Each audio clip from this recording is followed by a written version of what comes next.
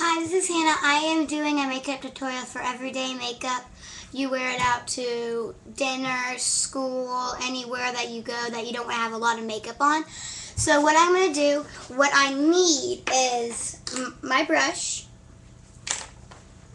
eye shimmer that I'm not going to use,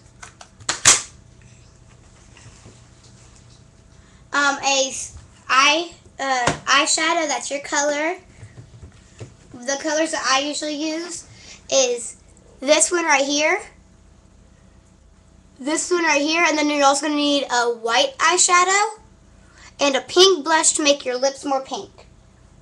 If you see that right there. Pink blush right here. Okay. So what I'm going to do is take my brush.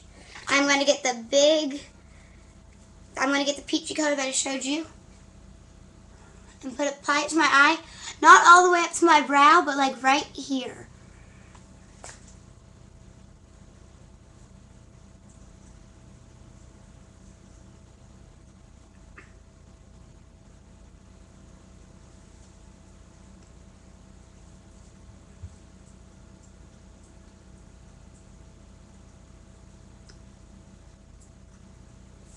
Your eyes are looking to look peachy like this. And then you're going to take this again and add the white over it to make it not as dark, but dark.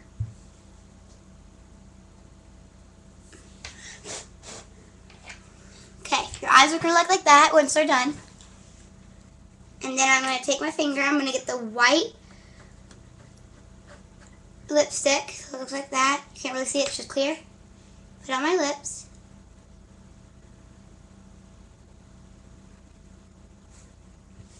And then the pink blush I showed you, I'm going to take my lip brush, right, my eye brush, no, this brush, right here, really small. I'm going to take the pink I showed you earlier, put on my lips. It's so your lips have a little more pink in them and it makes it look more pretty. And then I'm going to take my moisturizer, wherever it went. Quickly grab that. Just appeared on me. Oh well, but what you're going to do is you're going to take your moisturizer, put it on your cheeks, your head, and right here, and then you're going to rub it all in. And then your face will look like this after you're done.